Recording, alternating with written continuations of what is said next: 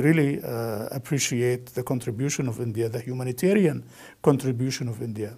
Uh, more than half ton of rice was sent to Syria by India uh, some years, two years ago, at the difficult time where Syrians did not find food to eat, did not find rice to, uh, to eat. And uh, this is the nature of relations between these two sisterly countries. Mm -hmm. What next after this visit? I mean, uh, this is a visit coming after some time. The last foreign minister to visit Delhi from Syria was 2016. Can we expect a high level visit from India and perhaps a higher level visit from Syria to Delhi? Uh, don't be surprised to find all that.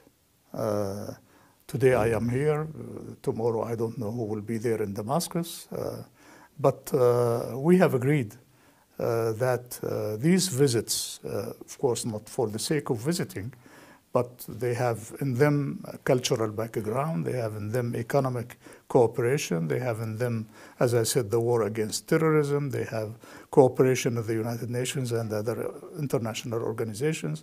Finally, we are an Asian country. You call us Western Asia. So uh, here is the heart of Asia. And the Western wing cannot function without the heart.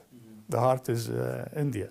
So uh, we are together and uh, yes, we agreed to boost our uh, economic cooperation. Nowadays, we are enjoying great support on the way of rebuilding the country. After the devastation by the terrorist groups of the country, now uh, India is taking the, the task of helping Syria rebuild.